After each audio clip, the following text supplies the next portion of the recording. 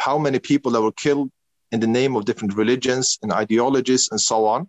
There's a book, a study called Body Count, a quantitative review of political violence across world civilization.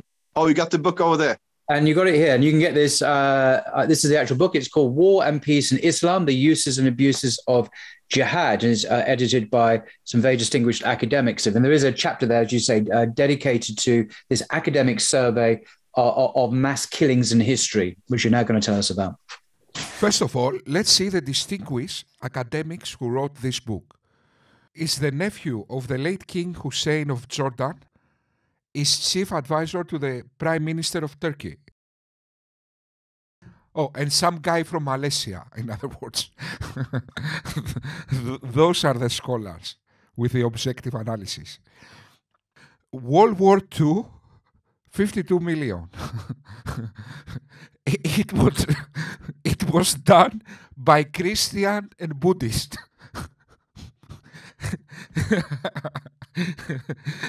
These guy, these guys blame World War II to Christianity and Buddhism. these, these guys blame World War II to Buddha and Jesus Christ.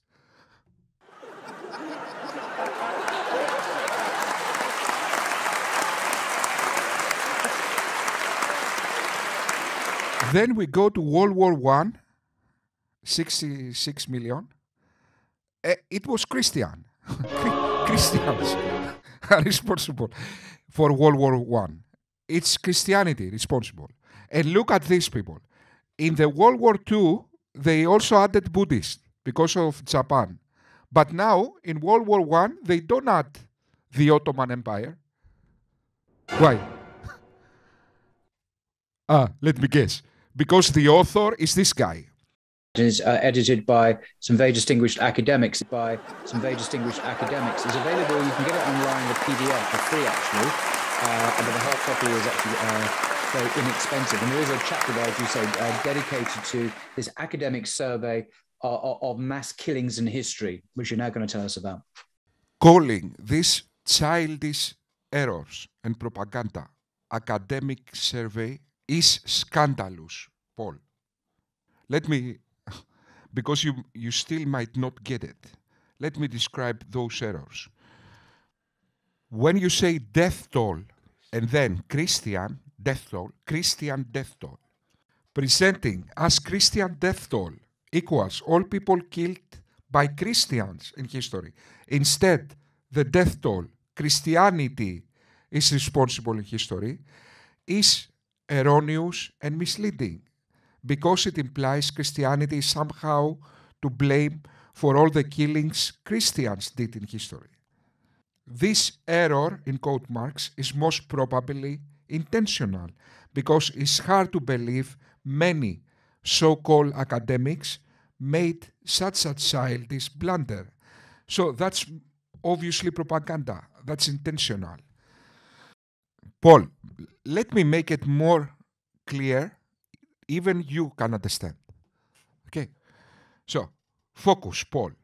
If my I am a Christian and my wife cheats on me and I kill her, this survey will claim that is Christianity to blame. Can you understand now the error? If a Christian in history killed his wife because she was cheating on him, this survey will say this is because of Christianity. Can you understand the, the error? What, what can I say? I hope you understand. Although, hmm, if the non intellectual propagandist you cited were to do an honest academic survey, this is what they should have done. Let's go to the Iraq War of 2003. Your propaganda yellow pages says that this war was Christian. Christian. Of course, Christianity had nothing to do with this war. Did Islam had something to do with this war? Of course. This war was after the climate of 9-11. That's a fact. So Islam had something to do with this war. Bush had something to do with this war. Saddam Hussein had something to do with this war. Geopolitics had something to do with this war. Human greed, maybe, had something to do with this war. But Christianity, nothing to do with this war. So the only, in fact, ideology in a sense of religion was Islam. Yet here you blame Christianity. Then it, it says the Six Day War of uh, 1967 was Christian. You mean the Jewish Arab War? Let's let's see that, guys. Wait a moment. Yeah. Okay. So the Six Day War, when Arabs attack Israel, Arabs attack Israel. It was Christians to blame. What the hell is wrong with you? Christians. So when Arabs attack Israel, it was Christians to blame.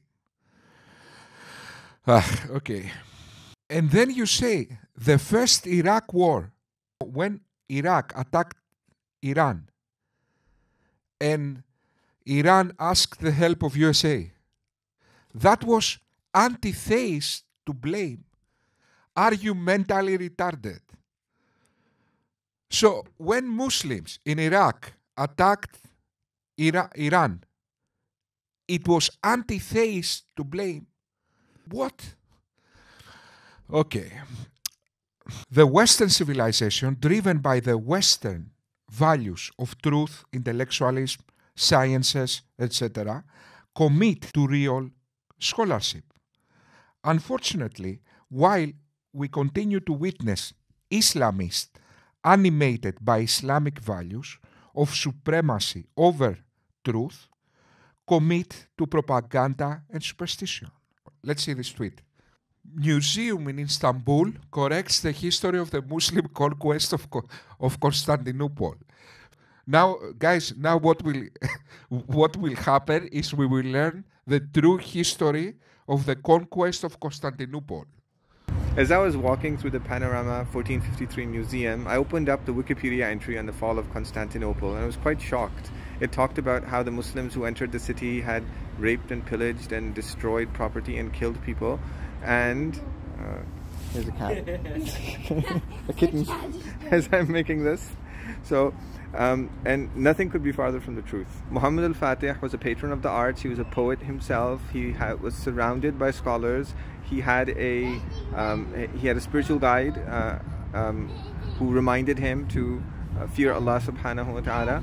And there's a founding charter that's there in the museum where he describes his intent to win the hearts of the people. The Orthodox Christians in Constantinople had more freedom after Muhammad al-Fatih came than they did before because of their wars with the Catholics. Okay, guys, look now what Okay, I don't know if I, if I want to laugh or cry. look now what this guy is saying. These, by the way, are my people, the Greeks. So the Greeks of Constantinople had more freedom when the Ottomans conquered them. This is what this guy just said now. This is big brain time. The conquest of Constantinople was the Ottomans liberating the Orthodox Christians from the Catholics.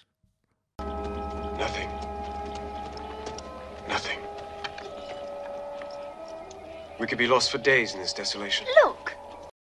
Guys, when the crisis with ISIS was happening, then I said, I said that in a, in a hundred years, Muslims will claim ISIS freedom fighters. And everybody was laughing. I was wrong. That happened after 11 years. Huh?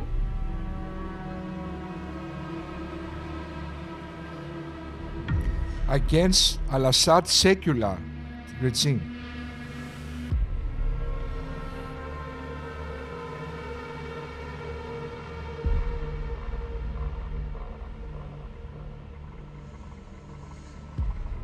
Uprising.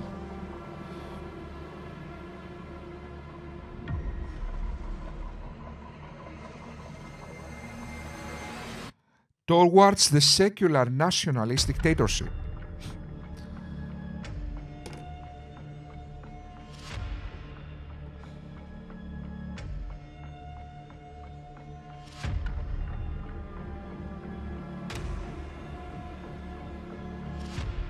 Revolution.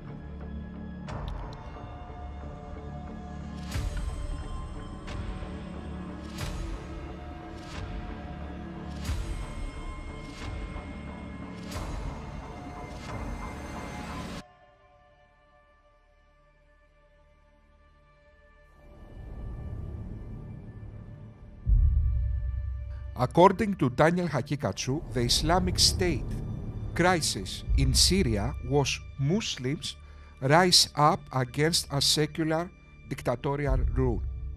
This guy blames the mess in Syria and the war to secularism. Yeah.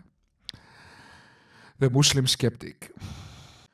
For someone to understand the idiocy of Ali Dawah, he needs to jump into his mind, into his mental process, completely corrupted by Islamic ideology.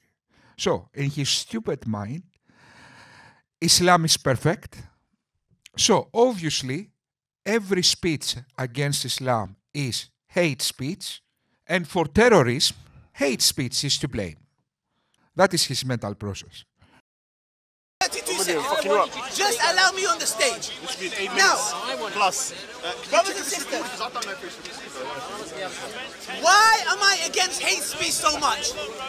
Why am I against you want a blasphemy law to protect your weak religion. Let me tell every single one of you guys a blasphemy law why I'm against hate speech. I'm not against hate speech, you're so sensitive. Do you know these people? Do you know them? Scientologists answer. Does anybody recognize these two faces? I am. I'm now. This is a girl, a young, white, innocent girl put this shit under my turban that got killed, if I'm not mistaken, in he said, under Manchester bombings. is a piece of shit. I didn't say nothing. The, the person on the left, I didn't say nothing. the person on the left in America, He's on the a. Somalian sister, was butchered and thrown to the bushes uh, uh, in some park somewhere. Why did this happen? Why did this happen? Why? Because of hate speech.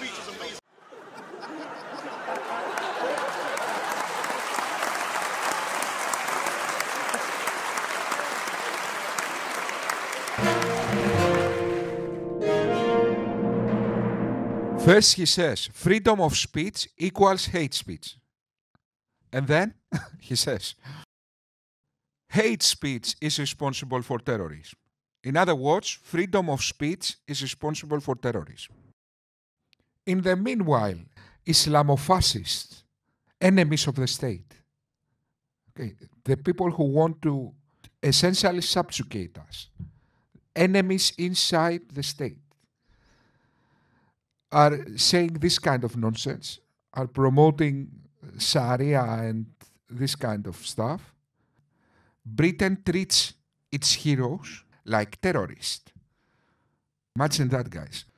Tommy Robinson is held by police at Manchester airport after being separated from his children, thrown out of Mexico on a matter of national security. Okay. This tweet, Paul Williams retweeted and liked. From there, I, I got this tweet. Understand that? What are you going on about? Do you understand that? What are you going on about? What are you going on about? What are you going on about? What are you doing? What are you doing? What have I done? What have I done? You want to In case you don't know who is Tommy Robinson, Tommy Robinson is the hero who exposed the grooming gangs scandal in Britain. In other words, groups of Islamofascists were raping children, gang raping children in the name of Islam.